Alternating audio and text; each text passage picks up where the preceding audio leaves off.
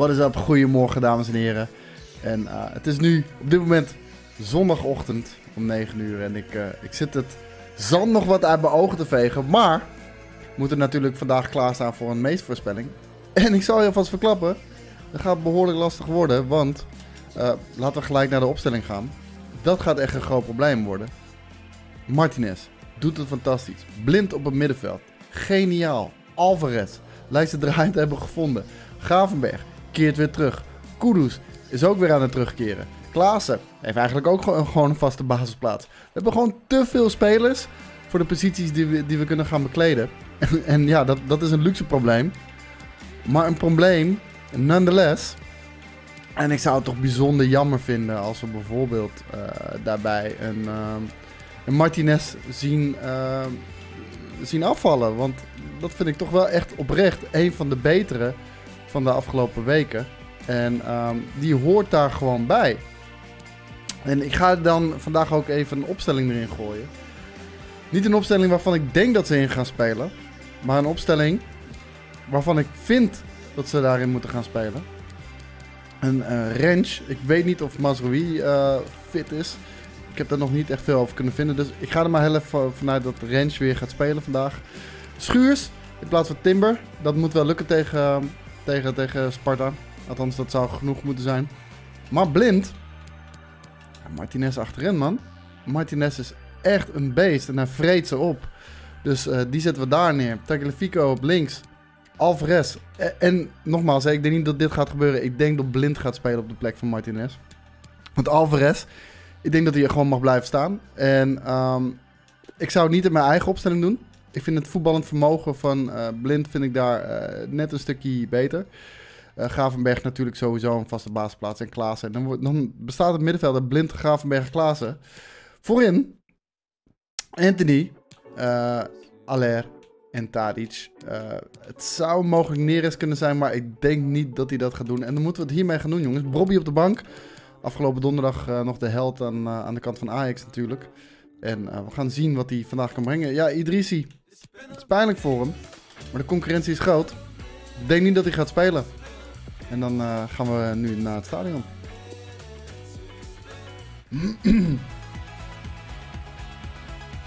is nog net iets tijd. Well, hello from a city of canals, but also a city of football. We're in Amsterdam at the Johan Cruijff Arena. I'm Derek Ray here in the commentary position, was, uh, and joining me will be Lee een Dixon. Fenomenale wedstrijd. plenty en ik had heel even het gevoel dat we echt weer naar zo'n uh, on typische. Ajax-wedstrijd gingen. Derek. Zoals je, zoals je dat misschien wel kent. Zeker, uh, vanuit het verleden. Waarin je echt beter bent dan de tegenstander. Maar um, wederom niet een wedstrijd weten te winnen. En dan really vooral ook de manier waarop die wedstrijd weggeeft. Met, uh, die bal Tagliafico. gonna be very Dat zag er echt niet goed uit. Hij schuift hem zo in de voeten van, the van de spits van a rock. En die hoeft daar know niet al te veel mee te doen. En weet hem eenvoudig te deponeren in een netje. Zonde. Je ziet dan ook echt weer gebeuren van oké, okay, dit, dit was het weer. Dit, dit sluit volledig aan bij de rest van het uh, Europese seizoen uh, dit jaar. Het is oké, okay, whatever. We, we worden weer uitgeschakeld in de Europa League. Ik liet al redelijk snel de oren hangen. Maar dan uh, daar ineens vanuit het niet weet die Tagliafico toch weer uh, zelf ook een penalty te, te, te, te strikken. Ik, ik vond hem makkelijk gegeven, maar ik ga niet klagen. En um, play, ja, daarna natuurlijk die absolute hol, rol voor, uh, voor Brian Bobby. Weet je, de- dat, dat is hoe je wil invallen. Ik, ik had in eerste instantie iets bij zijn uh, invalbeurt van really, Bobby nu, weet je wel, de man die nog niet echt potten heeft weten te breken in uh, Europese wedstrijden. Nee, hij was daar en uh, ja, hij schiet hem fantastisch binnen natuurlijk. Dat was, uh, dat was echt heerlijk om te zien. Maar vandaag gelukkig weer met uh, Aller. Die mocht natuurlijk niet spelen in, uh, in de Europa League. Weet inmiddels allemaal wel waarom. Nou, uh, Tagliafico gaat er overheen dan. Aller.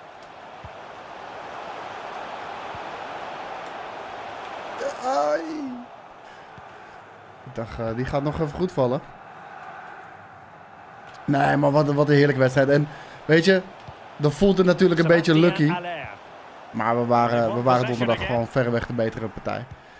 Niet iets wat ik had verwacht. mooi om te zien. En eh, het, het geeft toch een stukje vertrouwen.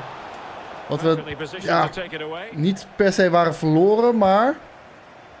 Wat natuurlijk wel een klein deukje heeft opgelopen. Door al het slechte nieuws van de afgelopen tijd. Teammate available.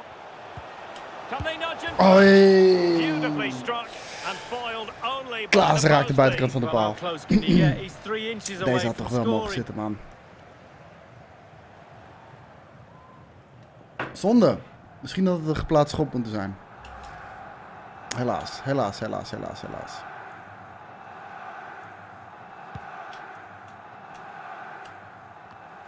Vandaag dus eh, tegen Sparta. En ik weet niet hoe het met jullie zit. En eh, dat is misschien natuurlijk weer een stukje eh, arrogantie. Amsterdamse arrogantie misschien wel. Dat is waarom mensen ons allemaal haten. Kijk, appeltje eitje voor Anthony natuurlijk.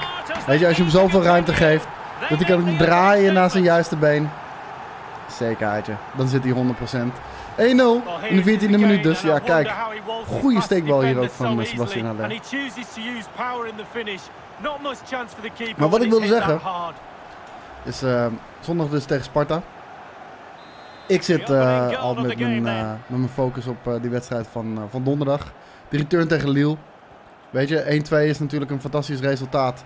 Maar eh, je moet hem nog wel over de streep trekken. En we weten hoe dat eh, kan gaan. Dus eh, ik, ik kijk echt daarnaar uit. En waarom dat is, ik weet niet of jullie dat ook hebben, maar Oh, voor mijn gevoel is de competitie niet meer zo heel erg spannend op dit moment. En ja, dat kan arrogant klinken, maar laten we ook gewoon naar de cijfers kijken. Er is weer een eh, gigantisch gat geslagen met de concurrentie. En ehm, oké, we weten hoe snel een gat gedicht kan worden. Dat hebben we zelf meer dan eens gedaan. Maar ik zie het gewoon now niet gebeuren. Weet je, Ajax eh, speelt niet eens fantastisch. Eh, is wel altijd de be- betere partij, maar het speelt niet eens fantastisch. Maar wint toch gewoon al zijn wedstrijden. Ja, Allaire, It looks promising. nou, steek hem nog maar een keer dan. Easy peasy. Easy peasy. Anthony, de vierde man. En ehm, afgelopen donderdag nam ik de wedstrijd dus op in eh, PES lovely 2021. one-two Vandaag gewoon weer in FIFA choices of what 21. type of finish to apply. Maar eh, ik vind het he wel leuk om eh, lekker te variëren tussen die twee. Dus aankomende donderdag ga je gewoon weer een partijtje zien in FIFA of in PES 21.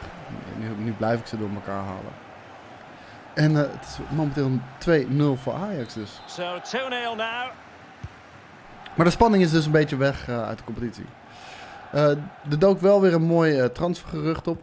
Ajax zou, zou geïnteresseerd zijn in Claudinho. En daar zouden ze aardig wat knaken voor over hebben. Dat is hetgeen wat ik een beetje moeilijk vind te geloven aan, aan een nieuwsbericht. Simpelweg, eh, om het feit dat, eh, Ajax, eh, Al natuurlijk heeft laten weten dat het een eh, sober jaar zal gaan worden. En we net eh, daarvoor ook natuurlijk al 25 miljoen hebben uitgegeven aan, eh, aan Sebastian. Haller. Slechte No voorzet. Heel simpel voor de, voor de keeper. Maar Ajax zou eh, 15 miljoen eh, over hebben voor, eh, voor de middenvelder. Claudinho, een Braziliaan. Wederom een Braziliaan. En ehm, Ajax is natuurlijk op de, flink op de. Zuid-Amerikaanse tour. Ik denk eh, dat we best wel kunnen stellen dat dat eh, vooralsnog een redelijk succesvolle tour is. Maar. Schuurs. Is een middenvelder, ik, ik weet er niet al te veel van. Hij speelt eh, bij een Braziliaanse club van, eh, van Red Bull. Ook Leipzig zou geïnteresseerd zijn, Red Bull Leipzig. Ehm, daar ligt natuurlijk dan wel een, een, een soort van, ja, is het een samenwerking? Ik, ik weet nooit helemaal hoe die lijntjes lopen met eh, Red Bull eh, wat betreft voetbal. Maar ehm, die zouden ook geïnteresseerd zijn. En de middenvelder, maar als ik dan ook het rekensommetje maak met hoeveel middenvelders we hebben en wat voor luxe probleem it eh. Erik ten Hag op dit moment heeft. Is het dan reëel te noemen dat Ajax nog eens een keertje 15 miljoen gaat uitgeven? Zeker net na een moment waarin we hebben gezegd dat, dat de re- resultaten zeer sober zullen zijn. De financiële resultaten. Ik weet het niet, man. Ik, eh, perfectly het, lijkt me niet. Het lijkt me van niet. Laat ik het daarop houden. Martinez, Martinez. Oh, Ja, niks te doen. Oh, Ik zet daar die sliding. Simpelweg om, om de voorzet eruit te kunnen halen. Want als hij hem dan voorgeeft, dan, dan schiet hij hem tegen me aan. En nu forceer je hem dan om te schieten vanuit een onmogelijke hoek. Ja, die gaat er natuurlijk nooit in. Die gaat er natuurlijk nooit in. Misschien moeten we een keertje trouwens gewoon met z'n allen een, eh, een weekendje een, eh, een FIFA toernooitje doen of zo. Huh? Die bal is binnengebleven? Nee! Een, eh, een FIFA toernooitje. Of een PES toernooitje vind ik ook goed. En erg knap hoe die 10 deze naast 10. schiet. For placement, maybe 8. hey, is dit niet die man die ons eh, het kampioenschap heeft afgesnoept? Was dat niet in 2016? Is dat niet deze man? Ik dacht dat hij tegenwoordig bij, eh, bij Sparta voetbalde. Ik kan daarnaast zitten hoor. Ik heb het, eh, ik heb het over die spits van eh, Sparta toen. Dat was ook een kale, was ook een kale man. Niet dat alle kale mannen op elkaar lijken. Rustig aan. Klassen. Now can they create something? Can he keep his composure? And the goalkeeper dit- covered a lot of ground Koos, het zo nep wat je hier aan het doen bent. Ga je heel stoer een fucking stiftje doen. En dan ziet het er zo uit. Waar ben je mee bezig? Waar ben je mee bezig? Plenty of scope to be creative in that wide position. Could reduce the deficit. Dat was hem dus. Eerste helft. An acceptable 2-0 scoreline voor Ajax. Dat ziet er verder helemaal prima uit. Wordt niet geweldig record Wordt een beetje, no- wordt een beetje nonchalant met kansen eh, lots Maar eh, dat risico kan je nemen wanneer je een, eh, een marge hebt van 2. We gaan wel heel even wat eh, veranderingen doorvoeren hier. Want ik zeg, we hebben heel veel spelers op de bank. Die ook allemaal eh, speelminuten. eh, die, ik die ook allemaal speelminuten gun. En dan ga ik toch Idrissi erin zetten. Ik gun Idrissi wel, samen met Neres. En gaan we Bobby doen? Gaan we Bobby doen?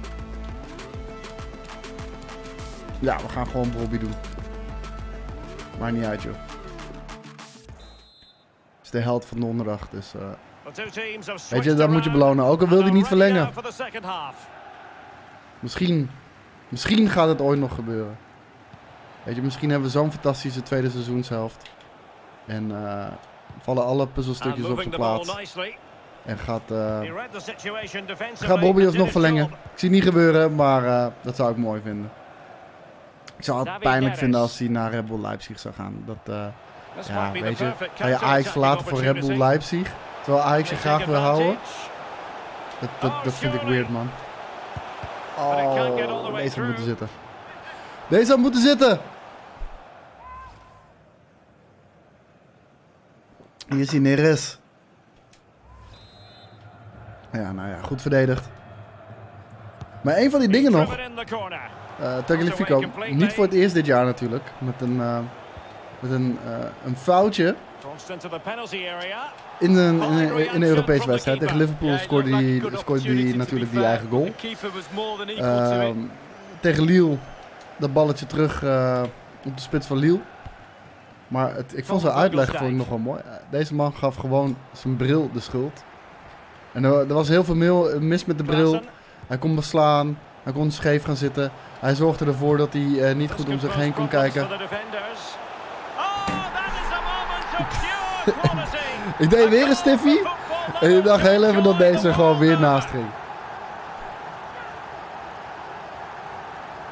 Brian Brobby. Met de 3-0. Op zijn patoffel. Well, here it is again. Kijk, hier goede loopactie. that does the damage. Eén op And één. you can see what he's thinking eh, Het scheelt niet veel, maar hij zit er lekker in. Heerlijk stiffie hier. Keeper kansloos. Die, eh, die was al aan het duiken.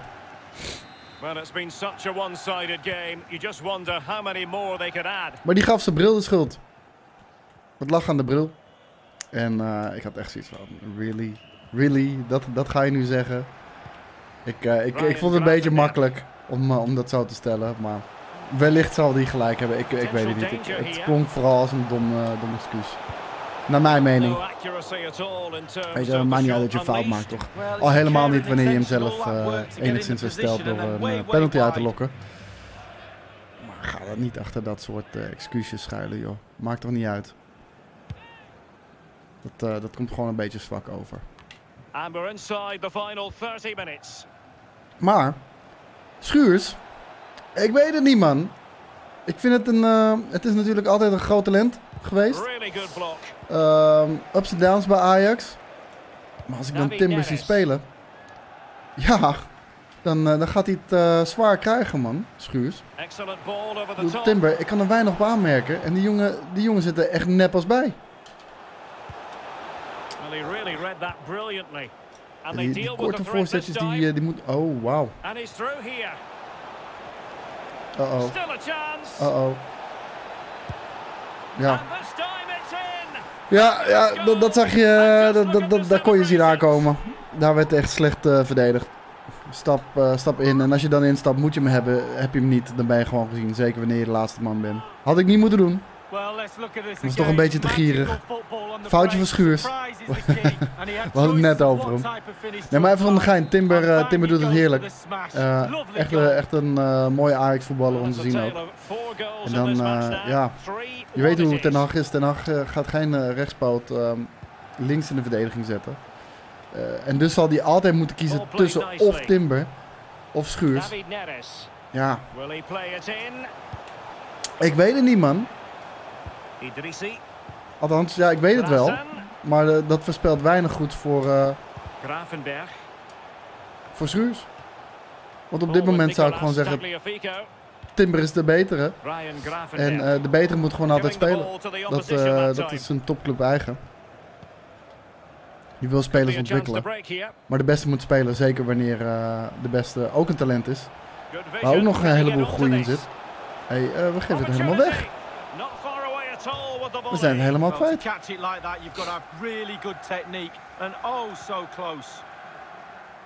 En Stekelenburg. Ik, eh, ik vind eh, dat hij lekker, lekker invalt voor, eh, voor Onana. Natuurlijk een Ajax-held. 15 een Nederlands elftal remaining. held. Eh zat natuurlijk bij dat legendarische Nederlandse elftal wat een WK WK-finale heeft gespeeld in Zuid-Afrika. Helaas. Hebben we die niet weten te winnen. Dat, eh, dat deed me destijds echt heel erg veel pijn. Maar eh, het is wat het is. En hier draait Klaassen weg. En oeh, die schiet hem hard binnen hoor. Rechterbovenhoek. Impressive Hij draait daar weg bij zijn directe tegenstander. En eh, daarna eigenlijk een koud kunstje. Davy Klaassen. Met de 4-1. En eh, dit was een lekker, lekker doelpunt hoor. Heerlijk schot. Kijk, verdediger stapt ook verkeerd in. En eh, vervolgens alle tijd en ruimte voor, eh, voor Klaassen hier om uit te halen. Verdediger kan er nooit meer bij. En jezus, wat vliegt hij er dan heerlijk in.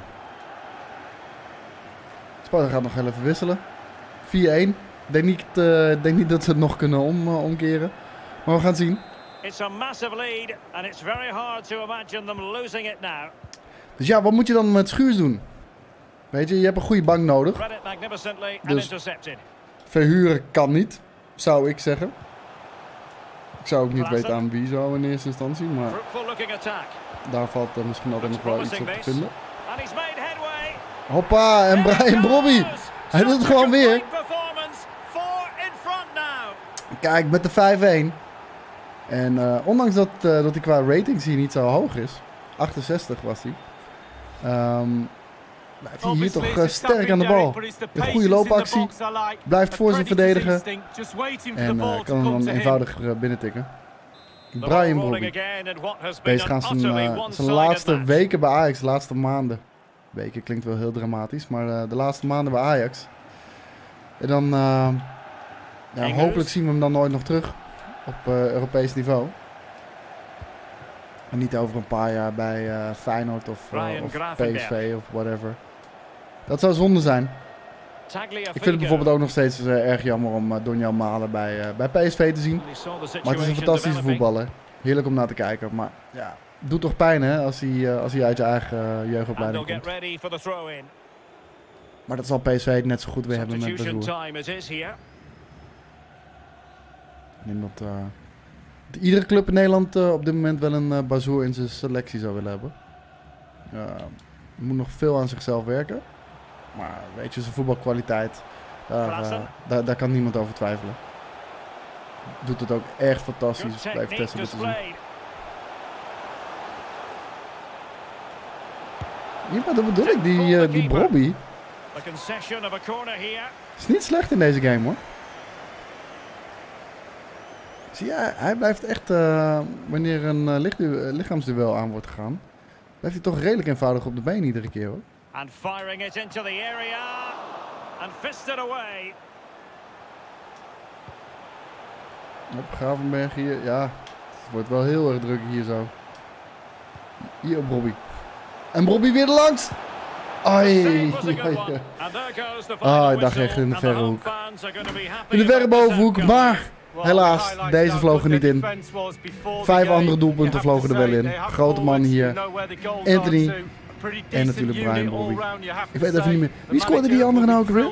Brian Anthony. Derek? En Davy Klaassen natuurlijk, die schoot hem eh, mooi in de rechterbovenhoek. Vanavond om 8 uur is het zover. Ajax tegen Sparta in de Johan Cruijff Arena. En ehm, wil je deze web- eh, website, wil je deze wedstrijd nou samen met, eh, met ons kijken? Want wij kijken alle wedstrijden van Ajax live in Mo's Tavern. Zorgen, zorgen, ik heb echt, het spijt me jongens, maar ik heb echt een spraakgebrek vandaag. Waarschijnlijk is het omdat ik net wakker ben, maar het is niet normaal. Maar vanavond om 8 uur, twitch.tv slash. Mocht je de wedstrijd met ons willen kijken, daar gaan we checken. Onder het genot van een biertje, eh, gezellige muziek eh, dom voetbalgelul. En eh, ja, gewoon vooral heel veel plezier. Dus eh, mocht, je dat, eh, mocht je dat willen meemaken, twitch.tv slash. Vanavond rond de klok van 8. Meestal zijn we zo 10 minuten voordat de wedstrijd begint, zijn we live. En dan kan je gewoon de voice chat joinen. Dus ik hoop je vanavond te zien. Vond je dit nou een vette video? Laat dan heel even de duimpje omhoog achter. En vergeet ook niet je voorspelling hieronder in de comments te droppen. Bedankt voor het kijken. En tot de volgende keer. Ciao.